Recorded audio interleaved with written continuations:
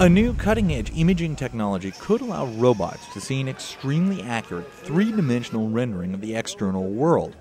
For humans, that's easy, but for robots, it often requires a mixture of lasers, video cameras, and in some cases, sonar to see that pedestrian that's about to run over.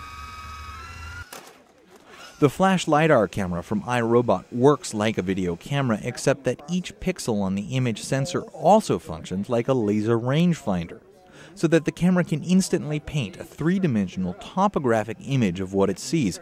In simple terms, the camera not only returns an image, but also knows exactly how far away each object in that image is from the camera.